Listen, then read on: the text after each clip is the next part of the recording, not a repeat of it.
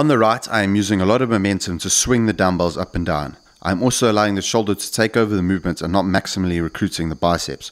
The weights are also starting from in front of the thigh, which again moves the load onto the shoulders. On the right, I'm setting my shoulder blades back before I start the movements. The weights are starting and finishing at my sides. I'm in control throughout the movements and focus on contracting the biceps as hard as possible during every rep. Don't go too heavy and use momentum in this movement. Make sure your shoulder blades are set before you start the bicep curl.